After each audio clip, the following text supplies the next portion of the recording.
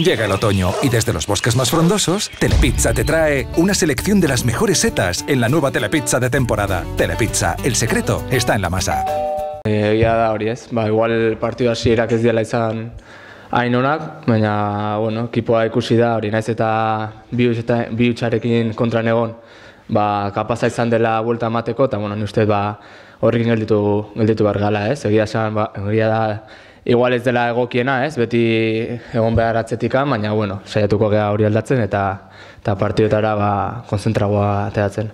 Ba, egu uste dut eh, etxean gure ba, gure nivela ematen ari gala, e, nivel onari gala ematen, eta linea horretan jarraitu behar dugu, ez? Bakigu Almeria ba, etorriko dela irabaztea, baina bueno, gu gure partidua egin behar dugu, eta eta gure nivelean egoten bagean, uste ba, irabaztea, irabaztean gertu ongo gala.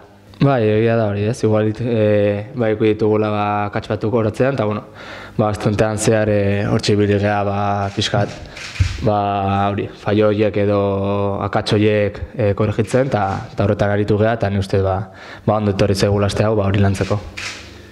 Bueno, ba hori ni uste e, gure partidua egitatea bat gala, udakiguna egiten eta lortzen badugu gure nibelea egotea, ba ni uste garaipena lortzeko ba aukera handiak izango diela, ez?